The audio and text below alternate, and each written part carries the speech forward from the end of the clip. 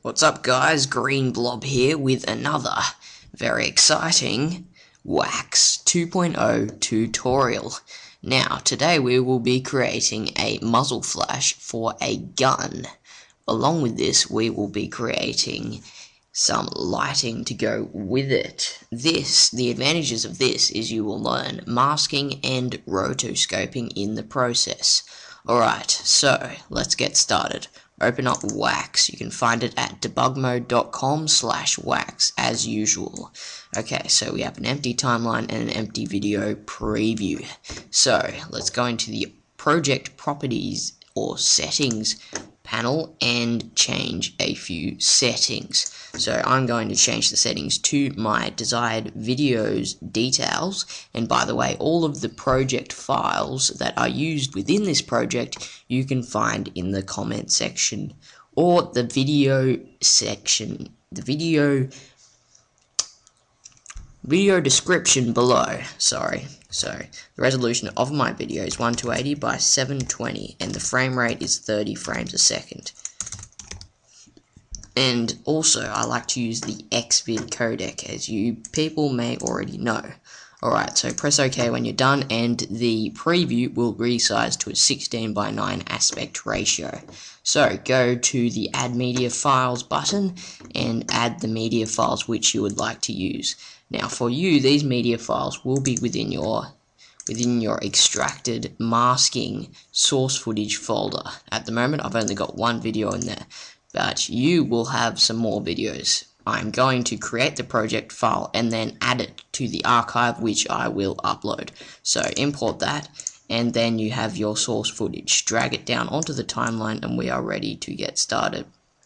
So basically, the gun fires and gets flinged back. Alright. So, let's let's add a muzzle flash to this composition. So the easiest way to do that is first we need a composition map that is a solid that we can use to map all of these shadows, lighting and the muzzle flash on.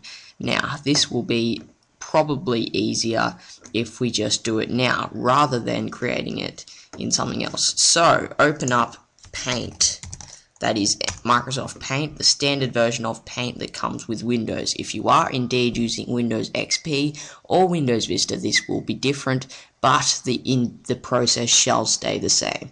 Alright, so hit the resize button and change the resize by option to pixels. Then change the horizontal pixels to 1 to 80 and the vertical ones to 720, making sure that maintain aspect ratio is unchecked and then hit OK. So now your your painting document is the same size as your video in wax. So let's go back to the paint and simply click the fill with color button and select a yellowy button but not so yellow so I'm going to select a custom color and it is going to be sort of in between yellow and orange a little bit more towards yellow and quite light. So, press OK, and then fill the whole area by just clicking anywhere within the area. Now for that, we are done. So hit the ribbon control up here and then press save, making sure you haven't undone something. And save it within the same directory as your source footage and project file which in my case is in this folder and call it and save it with any compression you want. I'm going to use JPEG. It doesn't really matter as long as they support a reasonable amount of colors and call it mask. Now you can close down paint and go back to your wax project. So hit the import media files button again and import your mask. Drag it down onto the timeline and place it above your footage. Now you have a mask.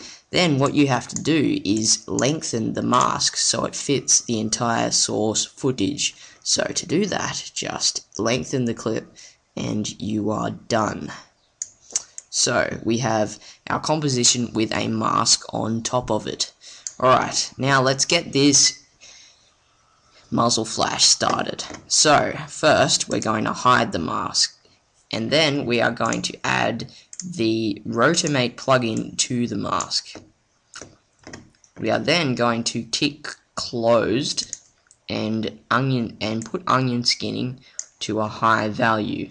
Then we will switch to the line option and just create sort of a shape that can be distinguished.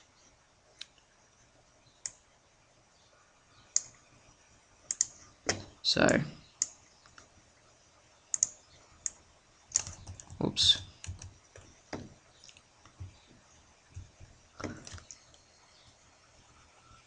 So just sort of play around with the settings for a bit. Just cycle between transparent and untransparent. So what I'm going to do is I'm going to delete all these shapes that I've just made. So just delete the Rotomate plugin and then reactivate it. And then use the line tool and just sort of cycle between the modes. Actually, put the source footage above the mask for now and then just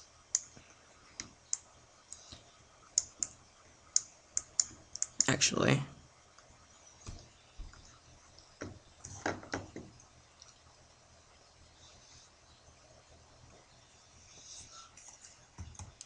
Sorry about that guys, so just unhide the mask and then create a shape with which resembles a muzzle flash out of your newly created mask.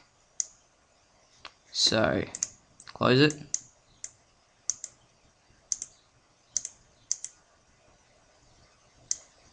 Wait. Okay, so we have our Rotomate tool and we have our mask. So just hide the mask and then switch to the curve tool and select closed and then just simply draw a shape like a muzzle flash around the gun and then finish it. So once we unhide, we have a nice drawing which has been completed.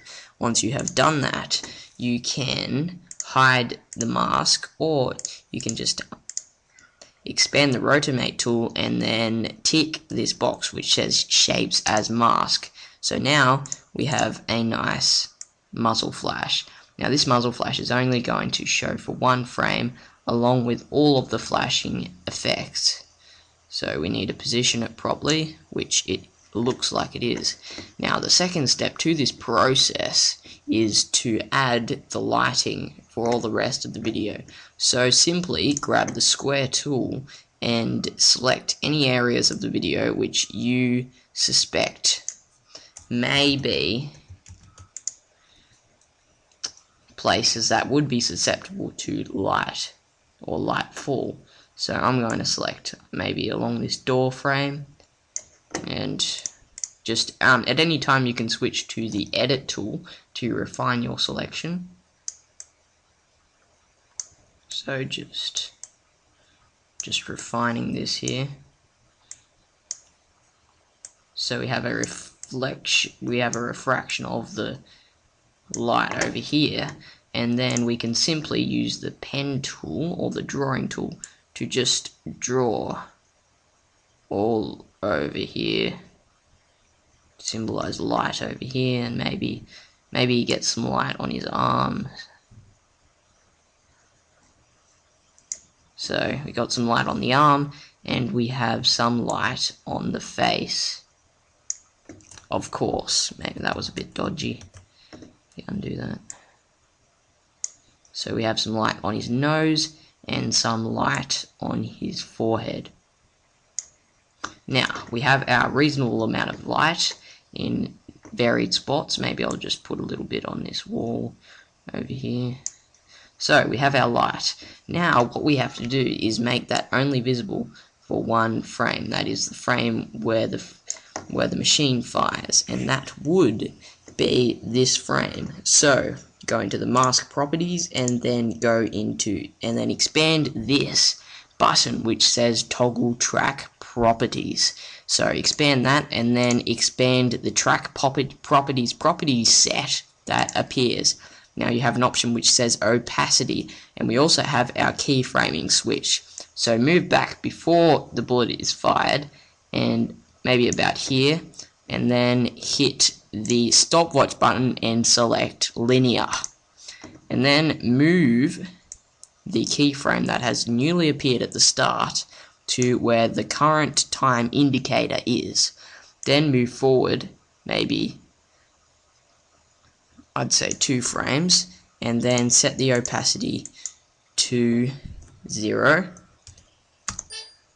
and then move back to one frame in the past of the 100% opacity and set the opacity to zero also. So now we have we have a firing of the gun. But what we also must change at this step in time is the opacity of the or the feathering of the mask, which is very important as a lighting aspect would not be completely visible as it is now. So let's expand the Rotomate plugin preferences and change the mask blur to a higher value. So now the mask has a bit of blur to it, but it is also still too high for comfort.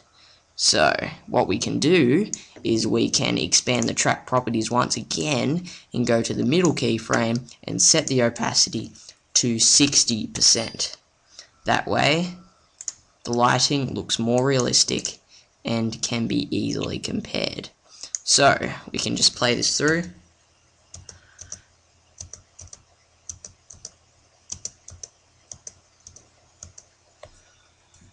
And maybe scrub over this so that it becomes better distinct and RAM previewed and then play it. So we have a nice flash of the gun going off. And that just about concludes the tutorial. Of course, you can go into the preferences window and change all the settings and of course render the whole composition out, but I will not do that. I will leave that to you. And check out my channel for more tutorials and that brings this tutorial of masking and color correction to an end.